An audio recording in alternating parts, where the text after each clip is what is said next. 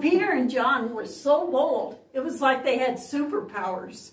Their boldness was so big and their message was about Jesus was so powerful that the Bible says that over 5,000 men believed in Jesus that day. And that doesn't include the women and children who heard and also believed. I know Jesus today because someone boldly told me about him. It was a pastor's wife who led a Bible study where she introduced me to Jesus in a way that I came to know Jesus and not just know about him. I'm wondering who boldly told you about Jesus and who you might tell in return. Jesus' power made someone bold so that I could hear about Jesus. And Jesus' power can help you be bold too. Trust Jesus.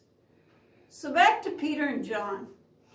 The angry leaders threatened them and ordered them not to talk about Jesus anymore. And then they let Peter and John go. The men went back to their Christian friends and told them what had happened. And you know what their friends did? You think they went into hiding and never mentioned the name of Jesus again, right? No way. Are you kidding me? They prayed together, asking God for courage.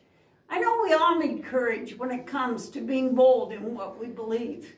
Know that you are surrounded here by friends who want to encourage you and remind you that you need never face anything alone.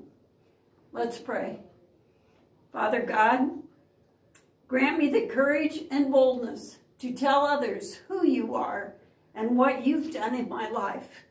In Jesus' name we pray. Amen. Hey kids, thanks for listening. See you tomorrow and have a great night.